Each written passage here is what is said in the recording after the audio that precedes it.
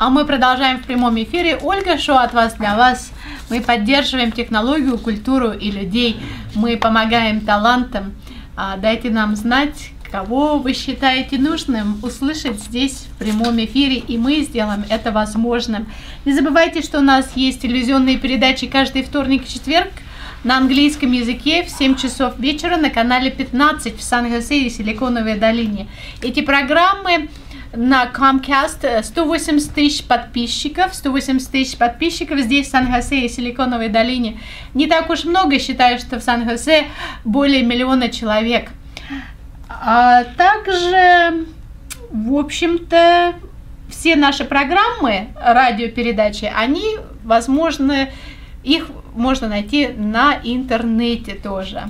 Так что мы для вас, возможно, можно нас не только услышать на радио, но и на интернетном радио и увидеть нас. Итак, а, рассказы. У нас а, бабушка Валентина из серии Сергей Михалков прочитает стихи, стихи. рассказы. Находка. Я выбежал на улицу, по мостовой пошел, свернул налево за угол и кошелек нашел четыре отделения в тяжелом кошельке, и в каждом отделении пятак на пятаке. И вдруг по той же улице, по той же мостовой идет навстречу девочка с поникшей головой. И грустно смотрит под ноги, как будто по пути. Ей нужно что-то важное на улице найти – не знает эта девочка, что у меня в руке. Ее богатство медное в тяжелом кошельке.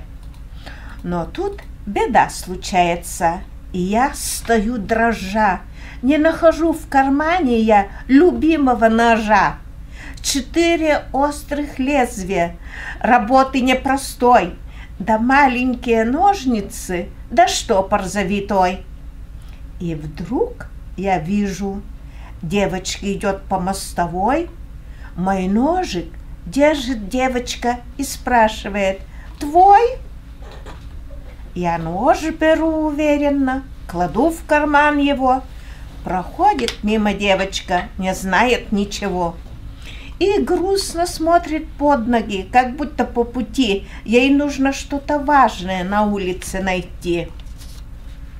Не знает эта девочка, что у меня в руке – ее богатство медное в тяжелом кошельке. Я бросился за девочкой, и я догнал ее.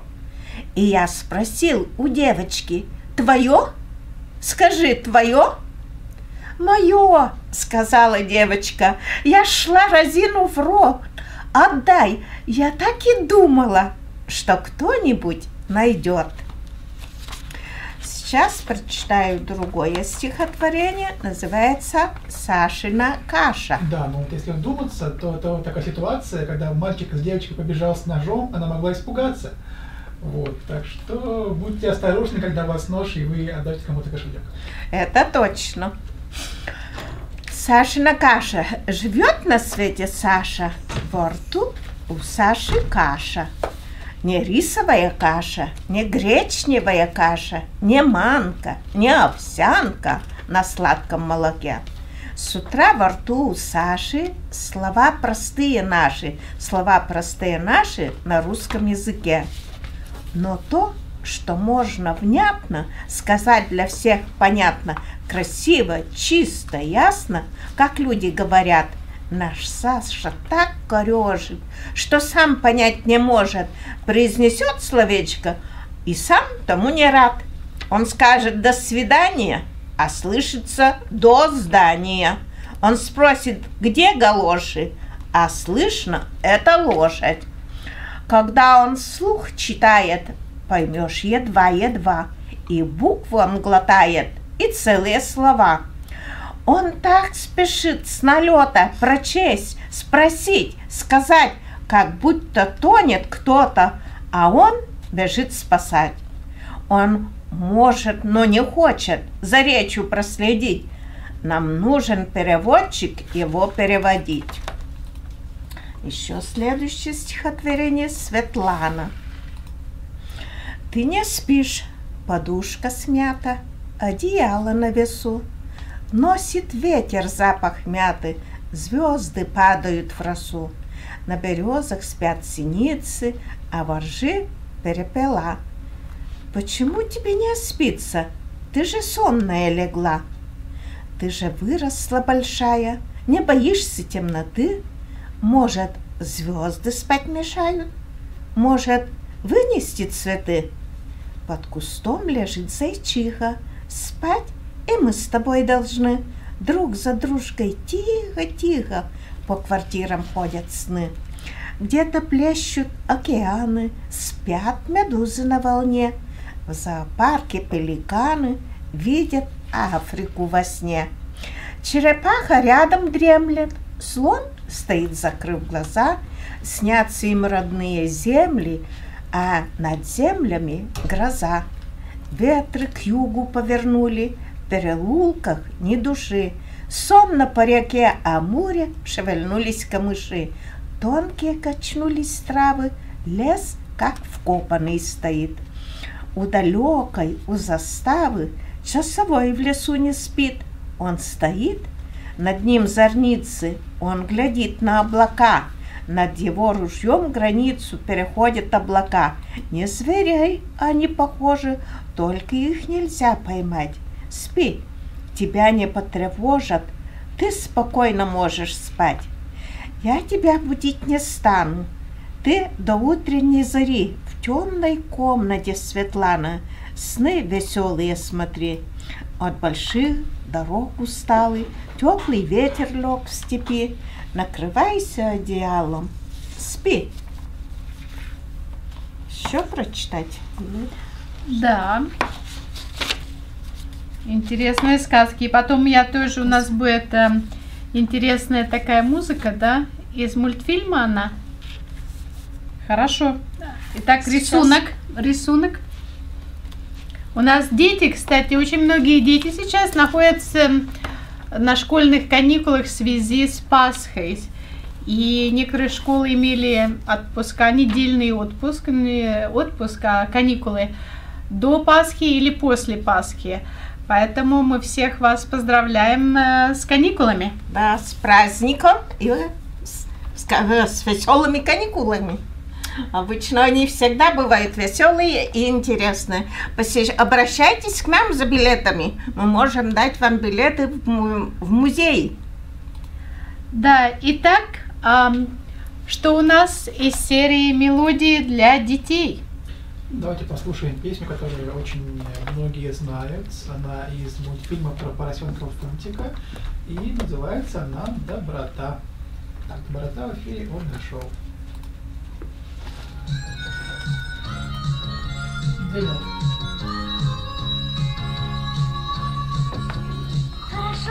Все компьютеры забрала, я хотела А мне нужно. нужно- христианские сказки прочитать. Нет, сейчас По- пока Для нельзя. Нельзя. рассказы. Нельзя.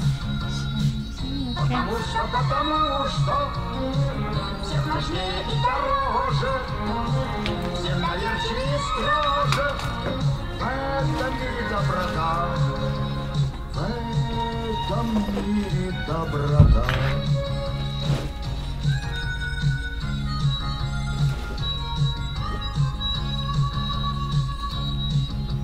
А можно открыть мне на компьютере где-то а, тем билет? Я зачитаю, там многие эти приезжают новые. Потом можно все убрать. На данный момент потом будешь все убирать.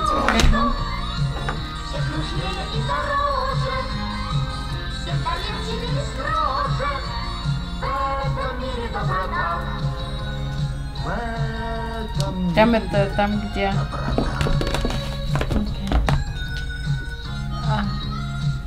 да. По-моему, все Шикарно, сделай, можно театральное. Да, а можно вот это на афишу сделать. Там, где афиша сама.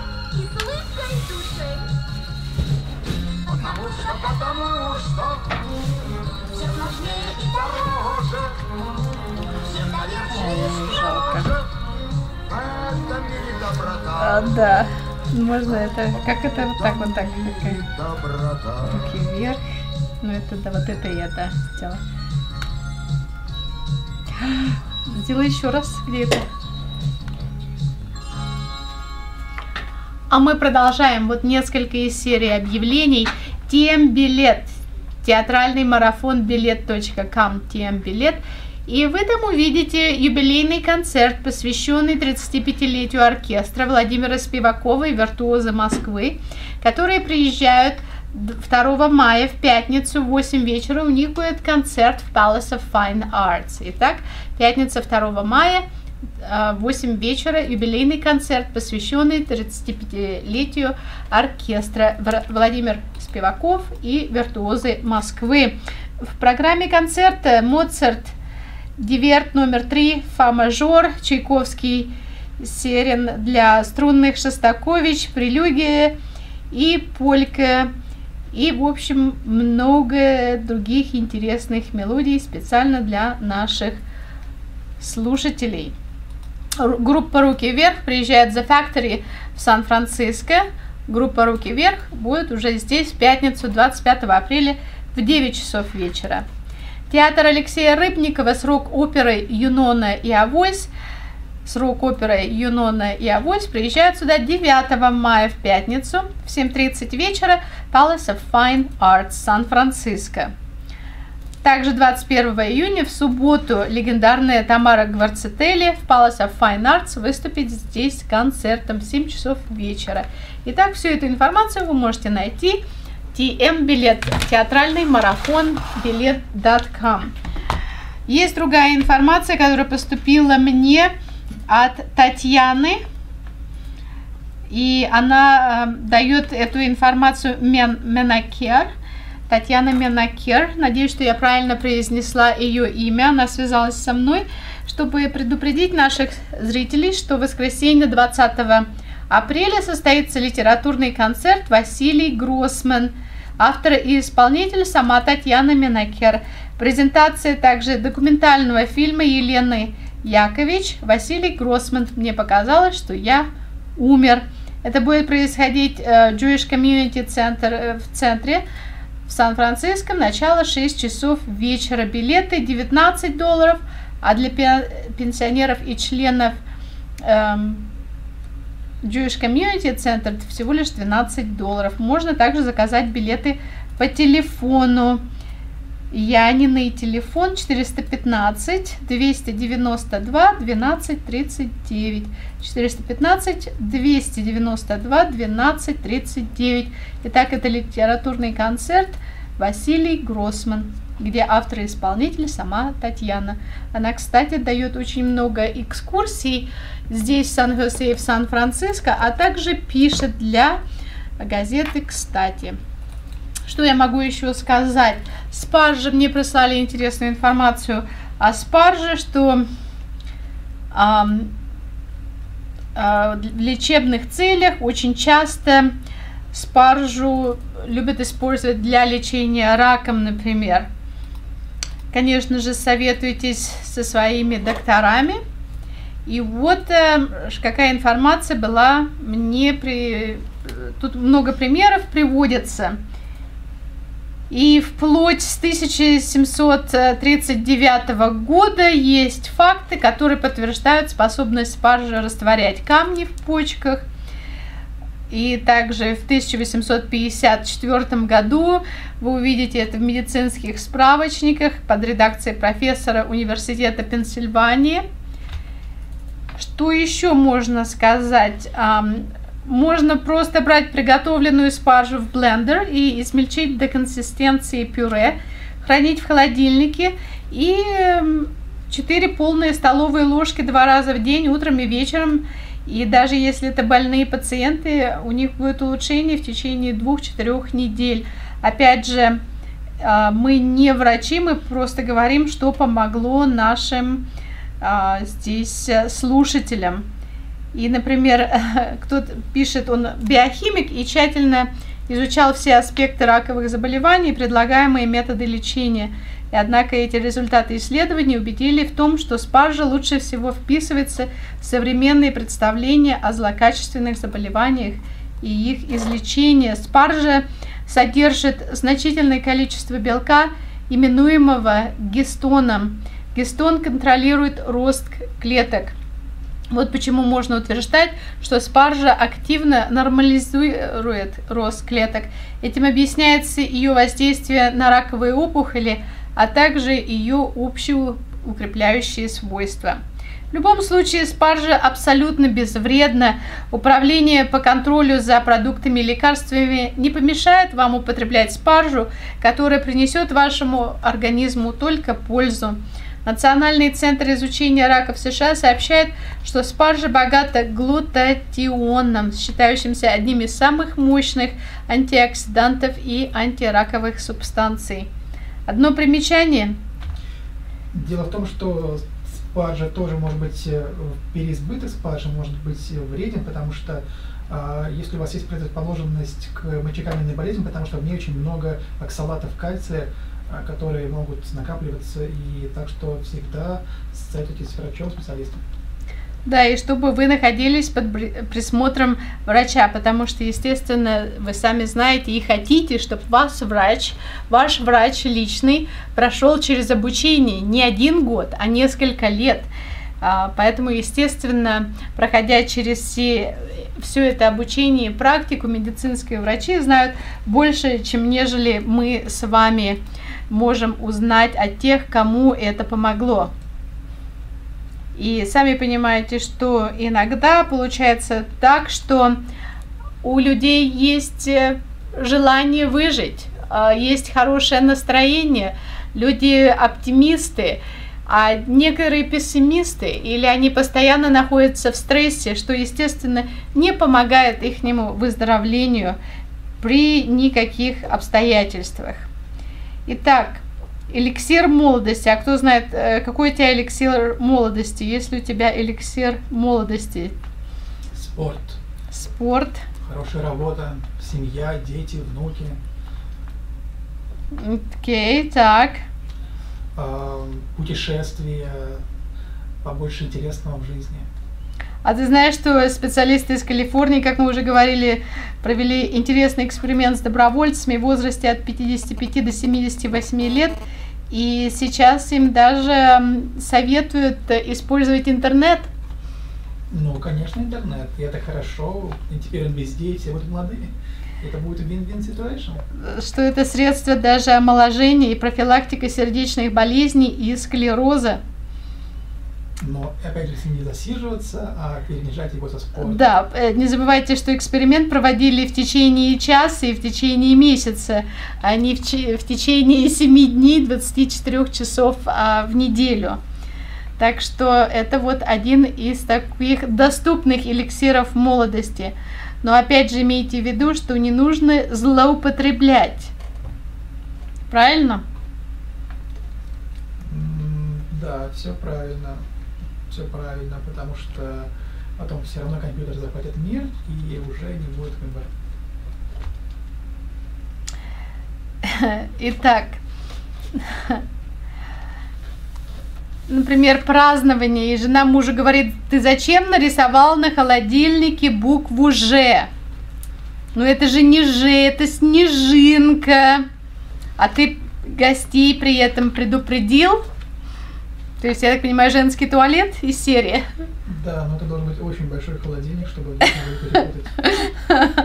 Ну, или же человек должен так много выпить, обкуриться или там еще что-нибудь, что не понять, что это, в общем-то, э, понять, что это холодильник.